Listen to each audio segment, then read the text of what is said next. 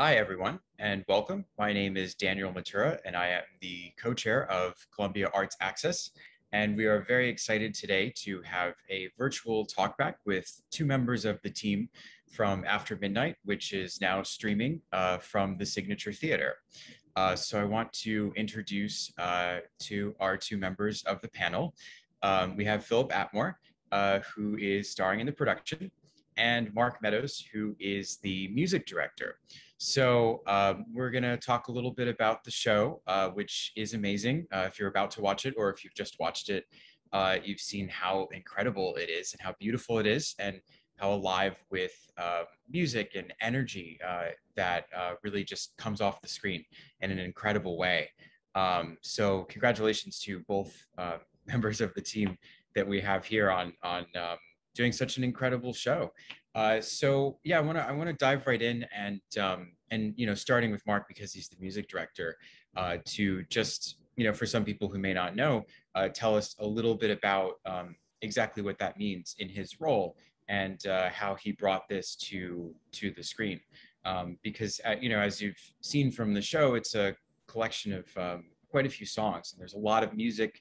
There's um, tap dance so uh, it's you know it's it's filled with a lot of different uh, types of media. So I wanted to sort of start with Mark, and he can maybe um, give us like a little overview of uh, how that worked and, and his role. Sure, sure. Thanks for thanks for your kind words. Uh, pleasure being on your screen this day, evening, morning, whatever it is. Um, I'm, I was the music director for this amazing project after midnight, uh, directed by a very, very close friend, Jared Grimes. Um, the music is all the music of Duke Ellington, um, with some amazing orchestrations and uh, texts with by Langston Hughes. Um, and there's so much dancing from tap dancing to ballet to just ev- every part of the beautiful black body and what we do and what we can do with our bodies is demonstrated in this amazing musical that I'm so proud to have been a part of. Uh, my job was to teach all of the music, um, and you can't teach unless you know. So my first job was to learn all of this music and to really immerse myself in the style um, of Duke Ellington and try to. Uh, try to try to get that sound in my ear so that I could really teach it to all of the the band, um, which consisted of we had a guitar player, bass player, drummer, um, trombone, trumpet, and saxophone. Um, so yeah, and then I, I had to teach all the music to the band. It was a crazy process because the band had literally I think three two two full days of rehearsal, and then that final day we literally had never run any of these songs with any of the vocalists until film day. So we get there film day. We have like three takes to do every song. Before they start filming, you have about, you know, half hour to an hour of them getting the lighting right and getting the cameras in position. So we'd run it with the vocalists frantically as as uh, as fast and, and efficient as we can.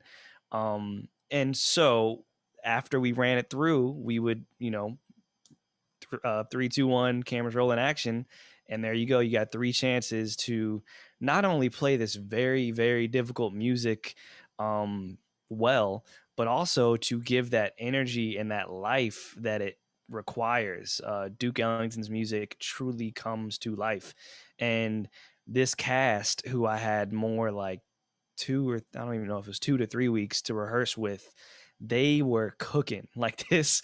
The cast, the band, I mean the the, the dancers, um, like it. They were just so on fire. Not only because they're freaking amazing, but also because we had a you know six to eight hours six days a week to really rehearse for for several weeks versus the band who had two i think we had two six hour days um and so we had to match that energy we had to match that accuracy uh so i'm not saying this to not give credit to the actors and the dancers and the amazing music and the amazing vocalists, but really just to highlight how nearly impossible it was to do what we did with two, three short rehearsals, um, doing this incredible, incredibly difficult music. Uh, part of what I do also, I think, hopefully, that I tried to do is to make people feel comfortable because I truly feel that musicians, actors can't perform at their best unless we are all comfortable. And so if something didn't sound exactly as it was supposed to sound after the first rehearsal, a big part of my job is letting that go and trusting in the people that I called and hired that they'd come back the next day and do it right and not spend 15 minutes on one section when we only have two more hours of rehearsal to get through four songs. So, um, yeah, it's it's a it's it was a lot of uh, teaching and um, just appreciating and respecting the process and trusting in the people that were a part of the process.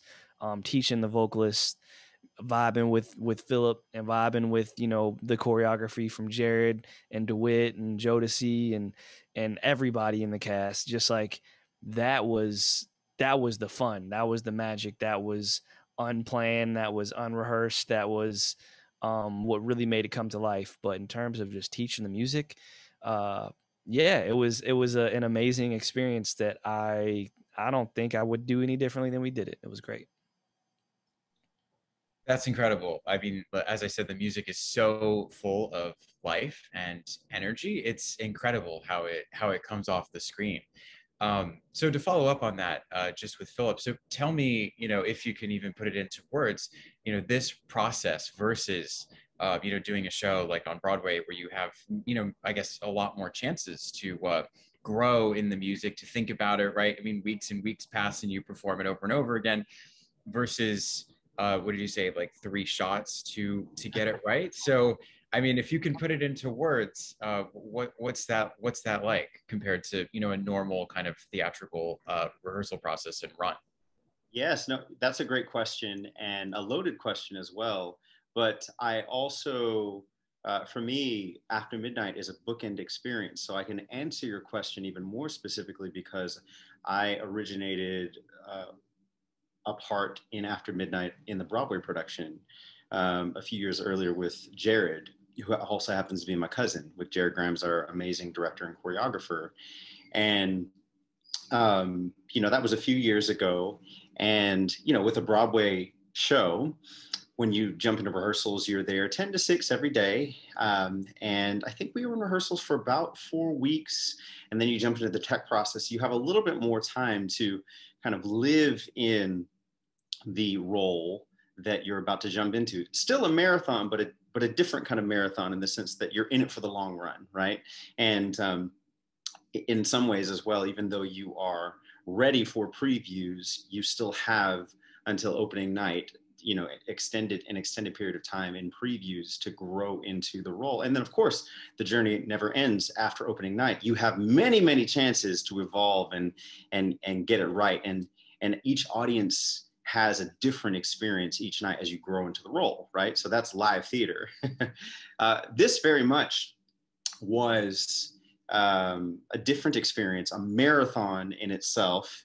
Uh, this particular production at Signature, but it was also a hybrid between um, theater and film. And you know, as the brilliant Mark Meadows said, I mean, it was um, it, it was go time from the beginning. we all jumped in and it was round the clock rehearsals. If you weren't rehearsing in the studio, you know, you were going through it in your mind because you had in your head, we're filming tomorrow, basically. And um, and different than uh, theater production where, you know, nobody necessarily has evidence of the work um, and you can kind of get away with making certain eras as a part of the journey of growing in the role every night. Um, not that, not that you make those errors or whatever, but um, for this particular production, you know, it was it was a film, so it was go time from the beginning. And I would also say, post 2020, uh, I I can't help um, but mention that it hit home differently to do a show that was a celebration of the Harlem Renaissance and an explosion of Black excellence that really did make its mark on modern, not just American history, but modern human history in the way that uh, Black excellence has um, inspired many different styles as it relates to the arts and entertainment industry. And so, one of the things that I really took to heart um, as we entered into rehearsals uh, my cousin Jared, I'll refer to him as the director and choreographer Jared, said, you know, when I was a child, I and I and I watched performances, great Black performances, it became my dream one day to bring to life um, these people on stage, these people who dedicated their lives to the art form and who opened doors for um, people like us, young Black artists like myself and Mark and, and the incredible cast of After Midnight. And this was an opportunity to, to, do that with, with no, no holds bar. You know, it, it was an opportunity really to have full freedom to bring to life um, people who paved the way for us and people that many many don't know actually because of the way that the world was and the way that the world still is as it's evolving in in its own you know personal freedom.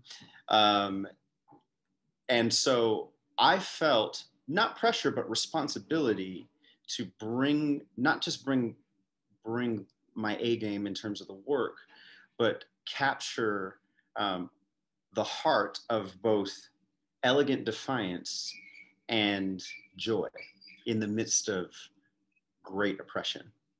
And so for me, that is what jazz is. Uh, it is elegant defiance in the midst of great oppression, in, but it's, it's this brilliant um, display of, um, of acrobatics in terms of improvisation and, um, and personal struggle and personal um, effect as it relates to ex- self-expression in the arts. And so, um, yeah, as to, to, compare Broadway to to uh, the signature production of After Midnight, I, what was different for me was the weight of an opportunity post 2020 to demonstrate how Black Lives Matter through the arts and entertainment, not just entertainment, but the story behind the music that's um, that was incredibly beautifully spoken. Thank you. I mean, just oh, as far as you know, the significance of it, um, and I think, you know, I think you're absolutely right. Just versus uh, 2013, I guess it was on Broadway. It's a sort of a totally different world, right? And the kind of recontextualization um, is is really fascinating, and I think also speaks to a great work of art that it comes back, you know, seven or eight years later, and it has a new significance um, for this piece. I, I'm, you know, I'm curious to then just kind of go a little further, and then this question is for you both. Um, you know that you talk about this kind of form of expression, and it's done pretty much completely through the music and through movement. Um, you know, I know there's uh, some uh, not quite dialogue, but you know, words of Langston Hughes, but otherwise, um, you know, this is a, a, a, piece of music and dance, right? As it is theater, um, there aren't scenes per se, right? So I'm, I'm curious if you could expand and both of you could expand on that of like that you're you're doing all of this and it's it's completely through music and body and what that means. Because obviously you know you have other experiences in your career with lots of text. So you know if you could you know sort of illuminate that experience for us a little bit. Well I'll, I'll just say a little bit. I know phillip has a beautiful perspective too because what i'm going to say will just infer that he has his own experience and that is it is our own lived experiences and what we interpret, what you interpret, what uh, Patty in New York interprets, what what uh, Helena in California interprets when they're watching it. That's the beauty of jazz is there's freedom. Um, jazz is is is uh, it's a story. It's we're telling stories, but it's not classical in that it's written down and that's what it is and that's what it's going to be every time. Um, so yes, this is a story that's told through dance and music, um, set up with beautiful text. But I think, but Jared did an amazing job of explaining what a scenario could be for every scene that develops throughout. And it's so genius that it might take watching it more than once to really see. But you, if you observe, and I'm, I'm not going to give it away, but you see a storyline, you see character development, you see um, one of the actors has a, a confusing relationship with another actor. you see an actor struggling with temptations and demons and all of the things that we as artists go through. Um, but at the end, you see all of us just triumphant and uh, celebrating each other. Um, and every single piece meant something to me, uh, not only in the story that Jared beautifully painted on this beautiful canvas of of videography and cinematography but also um, what I was feeling in that moment. I felt a great sense of renaissance. I felt a great sense of opportunity. I felt a great sense of being just being blessed, for the lack of a better word, of being in the room with black people, being able to tell our stories the way we want to tell it. And so, if I was playing on the sunny side of the street at the end, uh, even though Jared has something in mind, even though Nova has something in mind, um, even though the band might be trying to get the music right, we're all celebrating this opportunity. Uh, for me, it might have been like I'm I'm gonna be. We've gone through a whole lot of cloudy days in the past year and a half. This song for me is just me being happy and being no matter what i'm to live on the sunny side of the street with my sister literally who's known me since i was a baby nova y Payton, and playing this song for the trumpet player it might have been i'm to play this solo like cootie williams and, and duke ellington's band whatever it was though i think that the goal is to create a real feeling that people can that they know it's real whether or not it's the text whether or not it's living a past renaissance whether or not it's living through this current renaissance. It's telling a story that people can relate to um, in the moment and whatever that story is for you is is what it is for you. And i'm curious i also i want to ask you i mean as far as because you mentioned you know and some of your past experience with the music um, if you know there are specifically new things that you found in certain songs this time around and kind of going through this process and as kind of compressed as the process was if there were you know even just certain specific uh, things that really kind of you saw in a new light you know from from music that you might have known for years and played before and um, you know kind of things that might have come out of that. Oh every single time i played this music and that was one thing i was actually fortunate enough to I, I memorized the entire score. I made a point that if I'm going to only have three takes to make this music come to life, I'm not going to be able to truly make it come to life looking at a sheet of music. So I I I committed that from the beginning of the process I was going to memorize the score and in that I was able to really get inside the music and see the amazing um, harmonies that Duke Ellington created, these amazing melodies um, that really tell the story not only of what the title of the song might be, but to what Jared with the choreography um, was able to marry with this music. And so the beauty of jazz is yes, there is a construct, there are chords, there's a form, but in that you can play a few different rhythms here and there. You can interpret something differently here and there. Um, so whenever I was playing through during rehearsals with the cast, I would experiment. I would, if I heard a tap dancer go da da da da da da da, I would change my chord to kind of help marry that rhythm. Um, if if uh, Jenny was singing something on the there's a beautiful um, oh, it's really like a duet almost between she and I, uh, Creole love song where I'm just listening to her tell her story through nothing. There's not one lyric, but it might be the most telling song in the entire production, and that's the the Creole love song. And I'm and every single time she sang it, if she sang it differently, I would marry what she did with with what I was doing, and that was since as phillip was saying we knew that we didn't have a preview week a tech week and a preview week to give this in our feet every single time we ran the song in rehearsal, I had my eyes closed as much as I could. I was putting myself in that story as much as I could. There was there was no like every, every time you had to make it count because we knew that come film day the world's going to see what you did that in those 3 to you know 3 takes. And so um you had to give it your all every single time you did it from the begin from day one. We were we were in there. It's interesting because I, I feel like part of what I'm hearing from both of you is that in some ways, uh, just having the music actually enhanced things. You know, I think, uh, you know, sometimes like, uh, I mean, because music can carry so much more emotion sometimes than than simple dialogue. So in some ways, that focus of the production uh, on on the music really like kind of uh, you know gave your self-expression like the sort of particular conduit right? And then you really had to like show it all through that. I think it you know it, it comes through in a beautiful way. Um, and you know so back to this issue of filming um, i'm so curious you know obviously because you were in the room and then you know at some point you you watched it right? So that experience for you. Um you know because i know uh, there's certain obviously broadway shows that have been filmed archivally that you can watch and maybe you've done that or maybe you haven't because you don't want to watch yourself. But if you if you know if you watch this um you know uh, how it how it came across you know because it was filmed and there's a certain amount of editing but it's not an obtrusive amount you know? I feel like it was very carefully done. There's quite a few times where it's the camera it's like long takes and um, but i'm you know i'm curious about your experience of doing that and you know how you might have modulated certain parts of the performance and then kind of how you feel that that, that came across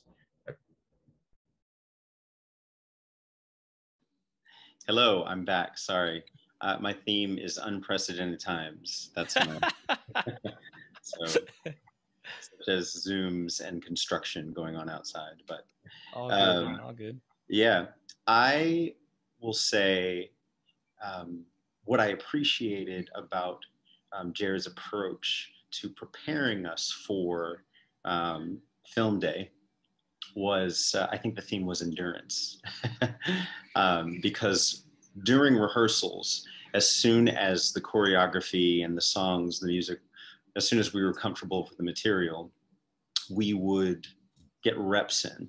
We'd run and run and run over and over and over again just to prepare for for filming day. Um, and we were prepared then by the time uh, we shot to do one, uh, do everything in one take.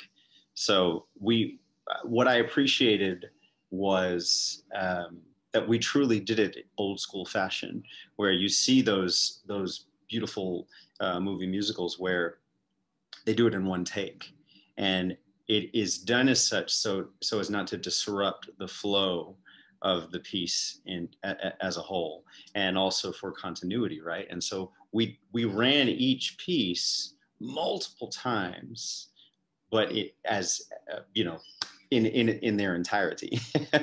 And so watching uh, of course you never know what the camera is catching. You only have an idea of that.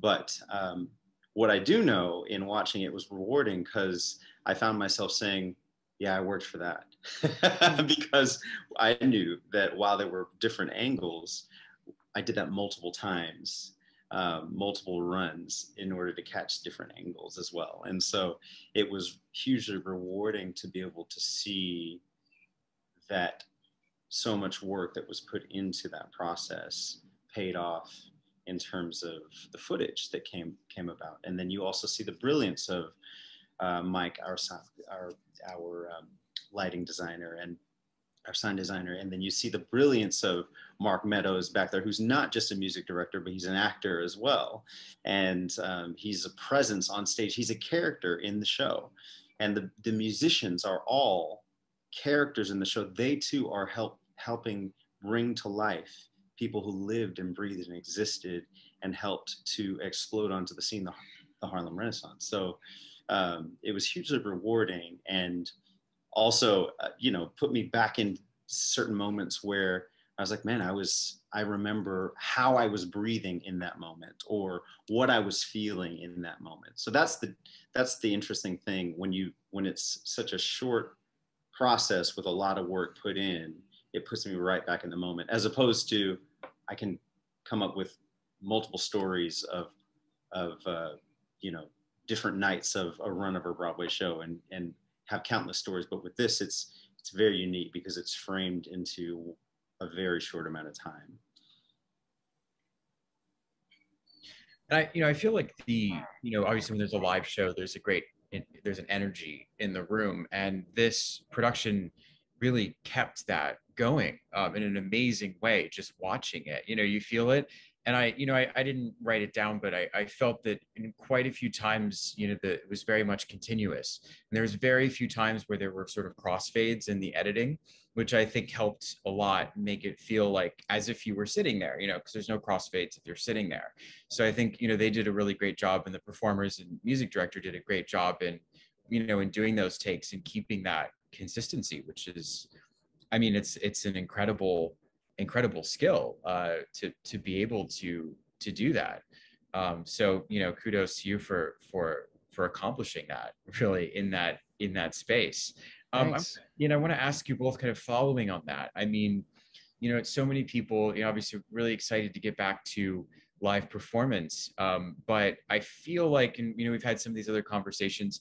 There are some real virtues that come out of the filming process, and kind of what your perspective is on, you know, if you would like to do something like this again, even when there is live performance, or if there's something about it, you know, that you'll bring back to your live performance. Um, because I, you know, I feel like I've seen a lot of work in a new way when it's done like this. And as much as we want to go back, I do also enjoy this. So I'd be curious to hear um, perspectives from both of you on on that as we transition back to live performance. I'll I'll start. Um, I man, I loved it. I love the process of of doing doing a, a, a film, which is basically what we made. Is we made a film. Um, it has to be right. It's got to be well prepared. Um, you have to communicate every single thought because, like we've always said, you get one shot. Um, I obviously missed the live audience, uh, but to be perfectly blunt, I'm I'm a recent father. I've got a 10 week old baby boy. And if this was a live show five weeks, I wouldn't have been able to do it. Like literally, I, you know, did my week of filming and now we've got a product that people can millions, hopefully, of people can see over the next few few months. Um, had it been in person, then with my current situation, I would not have been able to have been as effective as I think I was in a more filming uh, manner. Um, and also another thing takeaway that I hope I always uh, will remember is that we can do this without a crowd. Crowds help, but we relied on each other. Every single person on that stage knows that flip, that switch that you have to have when you really perform, when you like, perf- not a run through, but give it your all.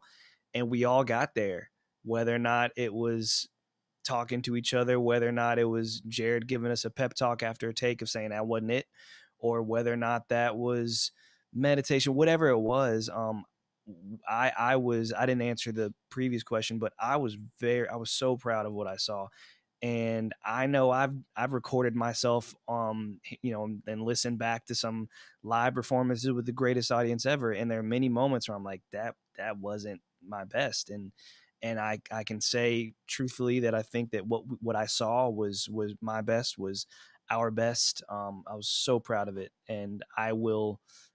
I can't wait to do it in front of an audience one day, hopefully soon. But I'm also very grateful for the opportunity to um, have have had the chance to do this do this work in a few days in a, in a week and not have to go to a show eight nights eight times a week for you know however long. So yeah. Um, no, I love that question. Um, I love the hybrid experience. I love that. I love. I, I, appreciate live performance in the sense that it's exciting. You never know what's going to happen, right? You, you, you come there. You've done the work. You know what your job is, right? But then there's the the unpredictability factor, and the fact that you have a new audience to get to know, to go on a journey with every night, and um, the, um, you know, the route that you can go is is endless. I love being an actor in that way. Um, what I love about this process and having a product at the end in terms of something that you filmed is that um, I think it closes the gap a little bit more between the film world and the theater world. Yes, there are different approaches as it relates to um, the attack of material and and how you prepare to um, you know express to to do the work right for for stage and for film. But I, i'm always intrigued by the stigma of the stage actor that it's harder for a stage actor to adjust to um, film I'm even more intrigued by the assumption that because someone's a great film actor, that they can suddenly do a musical. And it's not a dig or a read or anything because I celebrate the fact that movie musicals are alive and well still, and that there's even like a resurgence and all the more it's it's happening. But I there is a I think sometimes there is a lack of awareness as to what it actually means to be a singer, a dancer, and an actor, and that there there there are some that are brilliant actors. There and that's it. There are some that are brilliant actors that sing, brilliant singers that can act a little bit. There are some that are just dancers. And then there are triple threats. And um, each type of artist is important, you know, so it's not a comparison thing, but to sing, to dance, and to act is, is very much a demanding, uh, it's, it's, a, it's, it's a demanding job. And I love being a singer, a dancer, and an actor but there's a lot of work that goes into that that I think sometimes is diminished um, in terms of the process of making a movie musical nowadays compared to what movie musicals were, quote unquote, back then. You know, you had people who were singing, dancing, and acting and killing it because that's what it was. And what I love about having an opportunity as a singer, a dancer, and an actor, both on stage and on screen, is to continue, hopefully, to do work that is not an indication of what it was, but is a demonstration of what it was and what it is to be a singer, a dancer, and an actor. To understand where the movement comes from, you know, to understand what tap dancing is, to understand what jazz is and what and where the movement comes from is, is just as important as where the text comes from, as where the sound comes from, the song comes from. And I, I think a lot of times uh, musicals and or after midnight, which is kind of structured as a musical review, can be diminished as, oh, there's just lots of singing, dancing, and acting, and there's no story. But there are people who were singers, dancers, and actors who lived and breathed and gave their lives to the art form, who were brilliant at it, and who made a ripple effect to the degree that singing, dancing, and acting is still very much part of mainstream media. And so we have to take seriously, you know, as it relates to this opportunity to, to make uh, uh, the musical more mainstream and have more opportunities to show what we do on stage on film. Uh, we, I think it's an opportunity to take seriously how to demonstrate um, what was and to to also make to give evidence that it's still very much alive and well that there are true triple threats and true musicians you know like mark meadows who understands duke ellington lives and breathes it embodies it on stage. Nobody can do that in such a short amount of time. Step in and play a whole score with harold you know that's that style of music that is not easy to do. And so stepping into these moments with an understanding and an appreciation for what was so that we can demonstrate how to do it still so the art forms don't just so we don't just dismiss it as something that can easily be done you know? Does that make sense? Absolutely. I, oh i'm with really, you i'm with you. Yeah. Yeah i i and i want to you know just for a last question i want to kind of connect the dots a little bit from from that and from what you were saying earlier, both of you. Um, you said, you know, to to demonstrate what it means to be a singer, an actor, and a dancer.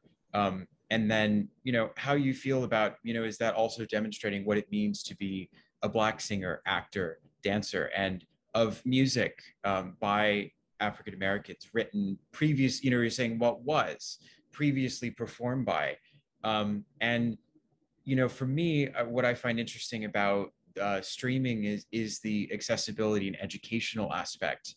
So, you know, I'm curious if, you know, because you're you're bringing this to life on film in a way that it can reach so many more people in communities that uh, can't afford to have a field trip to the Signature Theatre or too far away from it or you know all those kinds of things so i'm curious um, and we kind of touched on this with the difference of this show in 2013 versus now.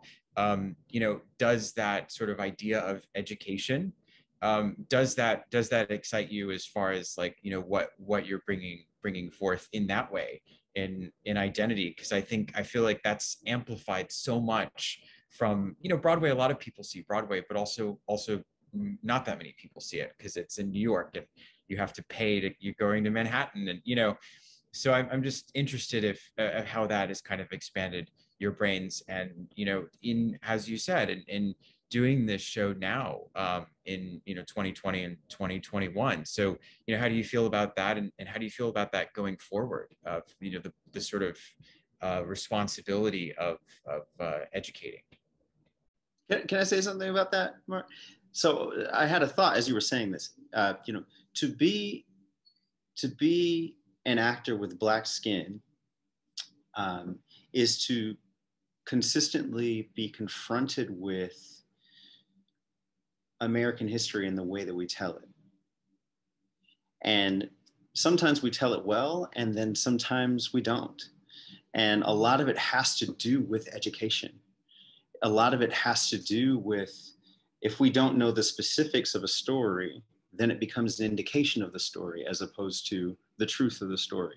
And I, I, ha- I had this thought one time. I, so I did shuffle along on Broadway a few years ago with George C. Wolfe. And one of the things that we did that was so eye opening to me is we went to the Guggenheim to watch a film starring Bert Williams, who was, uh, you know, a black silent movie star this is, and this footage had been lost for a hundred years. So in 1914, there was a film starring Bert Williams. It was an entire, uh, uh, largely black cast, uh, black male lead, black female lead, and the crew was both white and black, right? And it was a silent film and it had been lost for 100 years in 1914. And what I thought was so interesting, you know, Bert Williams was celebrated as a master of his craft.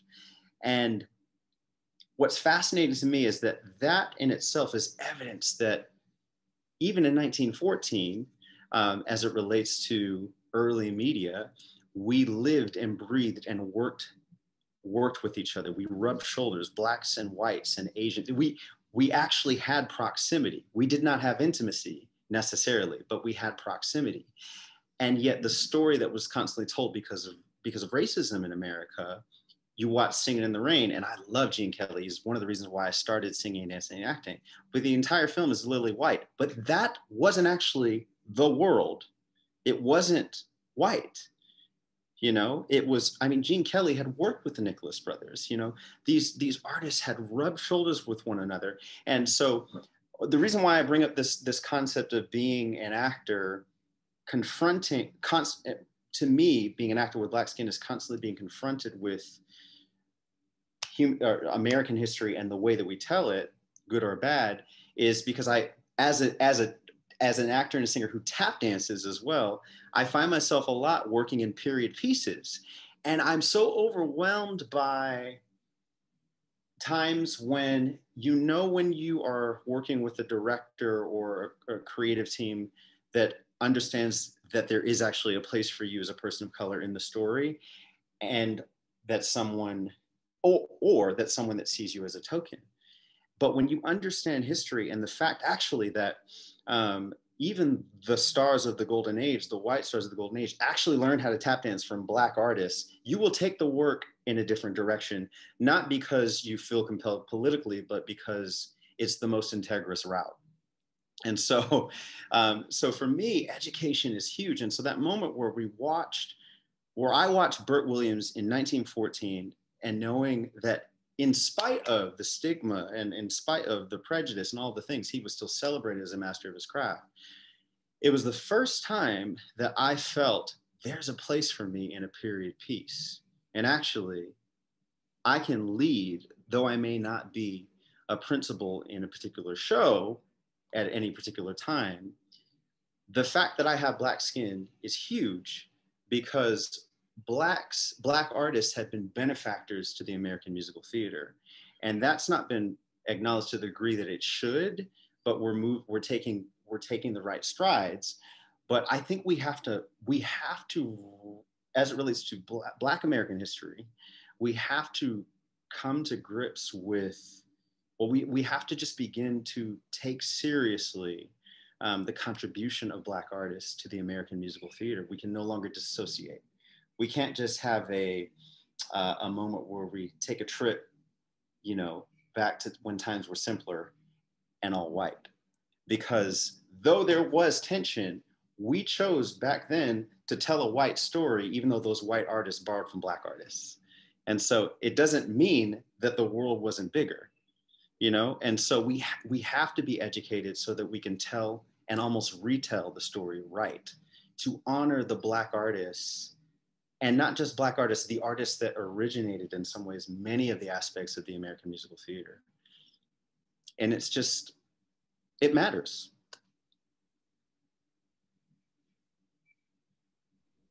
Absolutely. I, I think it, uh, as you say, like to, to educate people and let them understand like that as those contributions that it is the history of how it developed organically. Um, very, very beautifully spoken. I don't know, Mark, if you want to add to that, uh, just as a as a musician. I mean, I you know, I I kind of heard that from you earlier on as you spoke about um, Duke Ellington uh, in a, in a beautiful way. Uh, but if there's anything, you know, as a musician, if if you wanted to add to that anyway.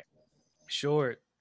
Um, Phillip said everything and more, so I'll just add a, a, a little bit um, sorry, my, my baby and my wife just got in, so pardon the crying for just a few seconds. Um, I felt that it's like my duty to be an example to many other kids out there that, like you said, probably have not had the opportunity to go to Broadway and be able to see amazing works. And and even on top of that, if they have, chances are they didn't see somebody that looks like me. If they're African American or if they're Asian American, chances are they were less likely to see that and therefore they're, they're less likely to be able to see themselves in that role of doing that in the future the only reason that phillip and i are here probably doing what we're doing is because we actually in some way shape or form were inspired to do what we do how do you get inspired by actually seeing someone that you can relate to generally you know i've, I've been inspired by white artists as well but i can i'm more inspired by people that had a similar upbringing to me that I can really relate to and identify with. And I think this production is a choice that was made. We, as Phillip said, you know, they they they had a choice to tell the true story or tell it in white lens, but they told it in white lens. Whereas now we're making choices, and this is a choice, I think, to tell a black story with leadership, a creative team that was predominantly black, with black artists telling the the the true um, beauty that that encapsulated the Harlem Renaissance through our bodies, through our voices, through our fingers, um, through our lived experiences, through our ancestors that came before us, and uh, that's what I think this is. I I don't. I think that Renaissance comes out of pain, and Renaissance comes out of struggle, and the fact that we were in a way mirroring the Harlem Renaissance in this day and age after all of the turmoil and struggle that no matter what color you are, what socioeconomic group you are in, what gender you identify with, everybody experienced some pain and suffering and turmoil um, during this past year and a half or so. And I think that it was a great uh, responsibility that we took on and and um, we we just shined. We we I'm so proud of this product, and I'm so proud that uh, I I hope this is the second Renaissance, third Renaissance, fourth Renaissance, and and many more is to come after this project. And just to add one more thing to that as well, I think what was what made this production so beautiful again just on the back end of 2020 and all of the things that ensued in 2020 um, i think for each artist that devoted themselves to this project, it was hugely personal. And um, if I can kind of borrow language from like musical theater 101, um, we sing because words alone can no longer um, do justice what we're feeling. And then we dance because words alone and so- words alone in song can no longer do justice. And so we just have to dance. And so doing having an opportunity to do a show that I absolutely love, that I loved doing on Broadway, but having an opportunity to do after midnight in a family context where my cousin um, or where a brilliant director choreographer who just happens to be my, be my cousin invited me into this uh, leg of the journey um, to be able to do it in a family context about a city that I live in. I live in Harlem. My son was born 10 blocks away from where I live, actually on 135th and Lenox at Harlem Hospital, which was the lamppost on the street. Uh, that was that was like the one set piece that we had was the lamppost. I actually it brought me to tears because it was hugely personal this time. You know, uh, we had just moved to Harlem at the beginning of 2020 before everything shut down. My son was born there, and so we lived on the same street as the stage door of the Apollo Theater. And so I would walk holding my son late at night, and uh, you know, and I would pass by the Apollo Theater, and I would imagine the level of excellence that would that would spill in and out of that door every single night, and just the people, nameless, faceless people now uh, that poured into those doors and poured out of those doors, and so to have the opportunity to tell the story of a sound that I only know is an evolved version that is Harlem. Um, it, it's interesting. What took precedence for me was the story, and then I just so happened to do what I love, which is to sing and tap dance. And so you bring what you bring, you bring yourself first, and then the tools that you've been given song, dance, you know, spoken word, they are the things that express what's already in you. And I think that's what we have to remember as artists is that excellence is super important. You have to train, you have to do all those things, you have to know where the information comes from, but you have to know the story you're telling and you have to live the story you're telling in order to do it justice. So that that that's what I wanted to say. It was hugely personal for me to the point where it brought tears tears of joy to my eyes. Thank you so much. I, I think it really, I mean, it, like I said, it, it, it comes through, it, it comes off the screen in, in a beautiful way, uh, watching it. I mean, it, it's, it's an incredible experience, uh, to see. And so thank you so much, both of you for, for being here and, and for, for your work, um, on it and also for your ability to speak so beautifully about your work. Uh, I think that's, um, that's so much appreciated. And, you know, because part of what, what we want here is for people to be able to watch this and learn more uh, about the show. So congratulations again. Um, I know it runs, I think, through through August um, on demand, and then you know maybe after that it'll it'll run again. It'll be available. Um, so uh, thank you so much, and I hope you're both extraordinarily proud of of the products because uh, it's it's it's it's just it's so awesome. So uh, it, it was great to uh, to talk to you both. So thank you for having us. Thank you so much. Thank you, Phillip. Great hearing you and great seeing you, man. Love you, bro. Love you too, man. All right. Bye. All right. Take care.